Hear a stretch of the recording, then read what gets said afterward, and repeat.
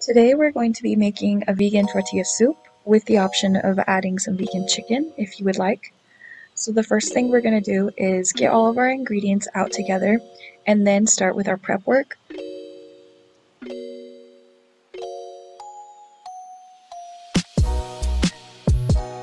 I'm going to start by prepping all of the veggies that are going into the soup. You may be thinking it's a lot of garlic, and it is quite a bit of garlic, but we're pretty obsessed with garlic, so I always add a little bit more than what I normally recommend in the recipe.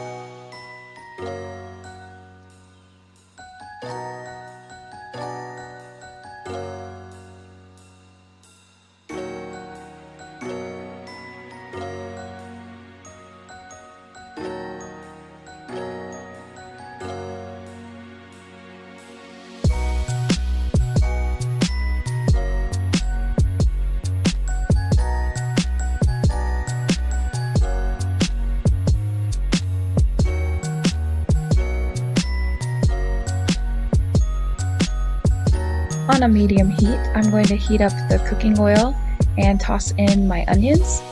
After those get quite translucent, I'm going to add in the garlic for a few minutes, and then I'm going to add in all of my spices and mix those together really well.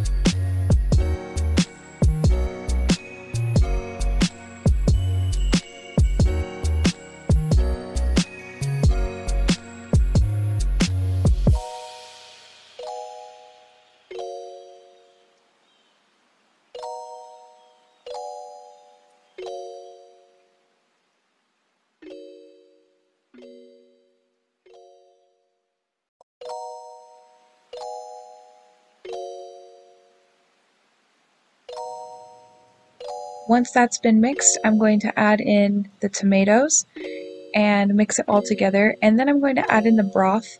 And after that's been mixed, I'm going to bring it all to a boil.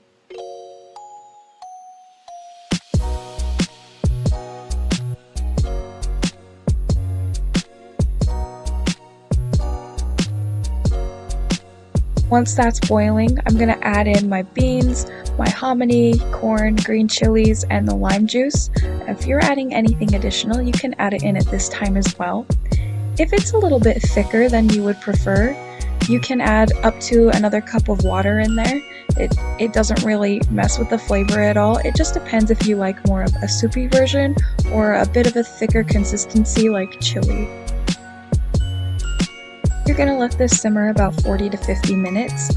You can simmer it less than that, but the flavors aren't going to mix as well, which also means you can simmer it a little bit longer, add a little bit more water, if you do want the flavors to mix a little bit better.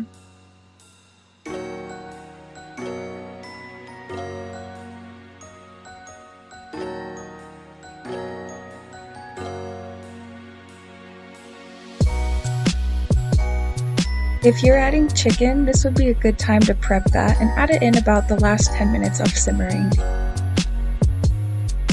While the soup is simmering, I add about a teaspoon of cooking oil into a frying pan and cut a tortilla or two into strips, and then I just fry them in there to a lightly golden brown. I did a little too much for the pan that I'm using here. Uh, you would normally want a bigger pan if you were doing that much, but it still worked. It just took a little bit longer to cook.